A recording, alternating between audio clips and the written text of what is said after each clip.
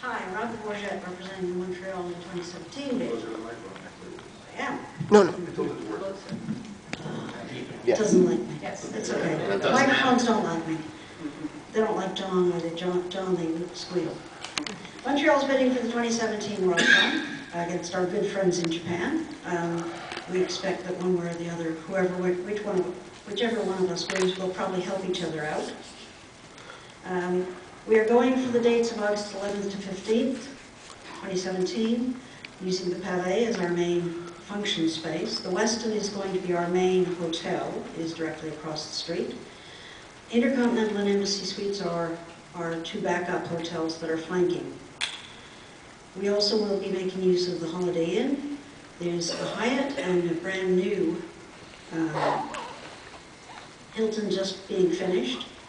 And there's a new inexpensive place called the Dauphin, which is dolphin in French.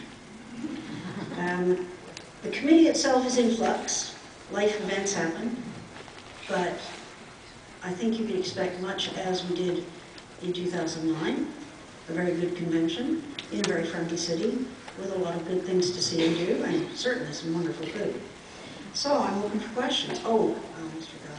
It's the 150th anniversary of Canada. We're younger than the U.S., but we're proud of ourselves anyway. It's also the 375th anniversary of Montreal itself. So it will be a great time to be in Canada and in Montreal because there'll be lots of celebrations going on all through the year and certainly on all the dates in and around the date of the convention. I expect there'll be more fireworks. With all those celebrations going on, is it likely to make hotel rooms harder to get and more expensive? Actually, no. Um, One of the interesting things is most of the people who will be celebrating will be Canadians Um, I think one of the things many people forget about Canada is we're a very unassuming nation in many ways.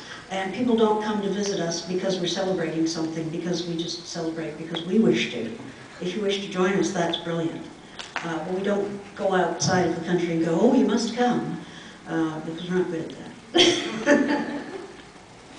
Any other questions? You gotta stick your hand up, because I haven't got my glasses on, I can't see a thing. There is not. Thank you for your presentation. Thank you very much.